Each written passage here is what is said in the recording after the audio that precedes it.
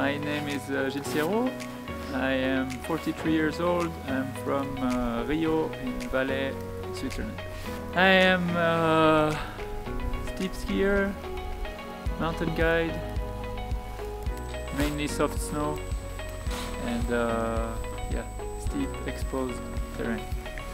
My winter setup is uh, the K2 Dispatch 120 in 186 with marker alpinist bindings and my spring steep skiing setup is uh, Dispatch 101 in 168. My height is uh, 1.8 meter. I'm 61 kilo at the moment and uh, I wear 27.5 boots.